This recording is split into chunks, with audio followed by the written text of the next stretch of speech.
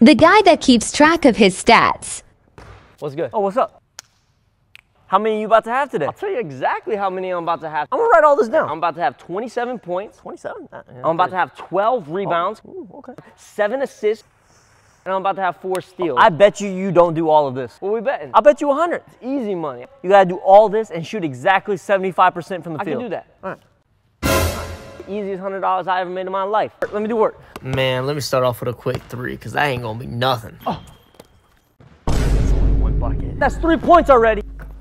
Hey! Rebounded two. That's one rebound. All right, let me grab a quick Hey, come here. Screen right here.